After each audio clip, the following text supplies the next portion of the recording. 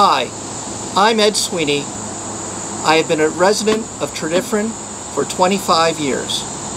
I am an attorney who practices in Chester County. I have served in this community in various posts, including the Zoning Hearing Board and the Planning Commission. I have also served in my church, St. Isaac Jogues. My issues for TE are to keep the highest quality schools and prepare our children for college and for life after college. I want to hold the administration accountable and keep them transparent. Good ideas come from all places. One needs to listen and one needs to act on advice that is good from our residents and our stakeholders. I ask for your support.